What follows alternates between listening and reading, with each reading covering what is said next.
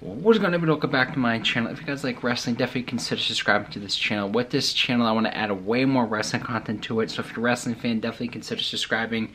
I'm sure you guys can tell by the name of the video. I'm going to be giving my Money in the Bank predictions. I think it's going to be a great card. A lot of great matches on here. Anyways, let's jump into these predictions. First up, we got the men's Money in the Bank ladder match. We got Ricochet versus Shinsuke Nakamura versus LA Knight versus Santos Escobar versus Butch versus Damian Priest versus Logan Paul. Um, a lot of people want Knight to win this match. He's very over right now. Every week he comes out, it seems like the crowds getting, the reactions are getting louder and louder. I saw a report on Twitter that WWE is very high up on him at the point where they want him to win this match. So I won't be surprised if he wins. But I think it'd be a little too obvious if he wins, a little bit too uh, predictable if he wins. That's why I'm going with uh, Priest in this uh, match. I got Damian Priest win this match. Um, I think Damian Priest just needs a breakaway from the uh, Judgment Day. I, he needs to go on his own, go on a solo run. Um, I think you know, he has what it takes to be World Heavyweight Champion. Hence why I'm uh, predicting him to win this match. But knowing WWE, I won't be surprised if they uh, have Logan Paul win this match. I know with him being one of the biggest celebrities uh, in the world right now, having him winning the Money the Bank would be absolutely huge. Um, but I got Damian Priest, but I won't be surprised if either LA Knight or Logan Paul wins.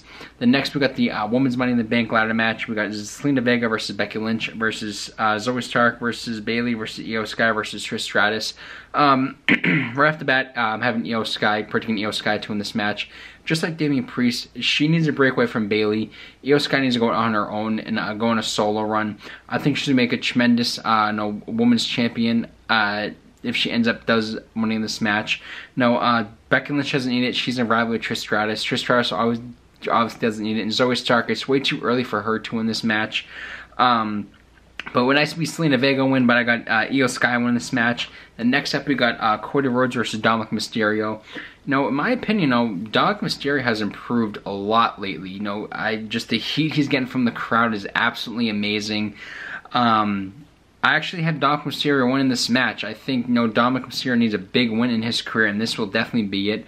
I got Cody uh, Rhodes uh, losing this match due to the fact that I think Brock Lesnar is going to show up and distract Cody Rhodes, so I got uh, Dominic Mysterio win this match due to the fact that Cody Rhodes is going to be distracted.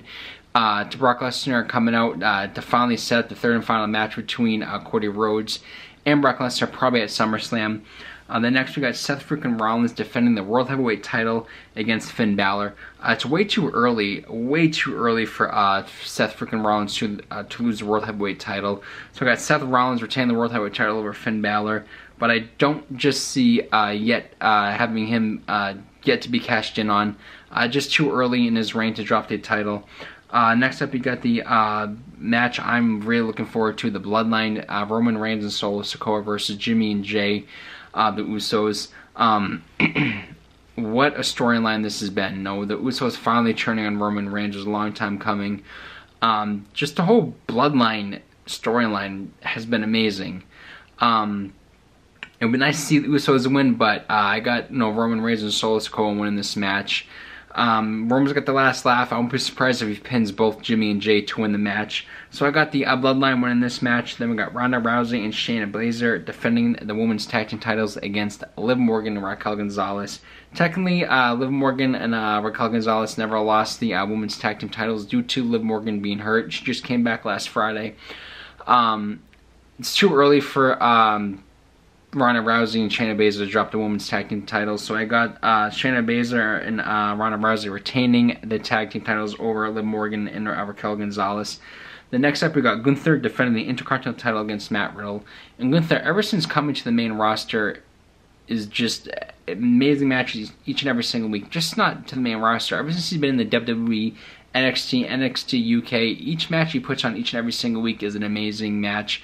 Um, he's definitely going to be Honky Tonk's, uh, Honky Tonk Man's IC title reign. Um, I got Gunther retaining over Matt Riddle. I just, he has to beat the uh, title reign. I, I, he has to beat the reign at uh, Honky Tonk's Man reign at this point. So I got Gunther retaining the title. Anyways, guys, that's my predictions. I hope you guys enjoyed it. Now, let me know what match you're looking forward to. Let me know who some of your predictions. Anyways, guys, thank you so much for watching. Like I said, if you're a wrestling fan, definitely consider subscribing. You guys be seeing me way more now. Have a good one. Enjoy the pay-per-view or live event, premium event, whatever you want to call it. Enjoy it.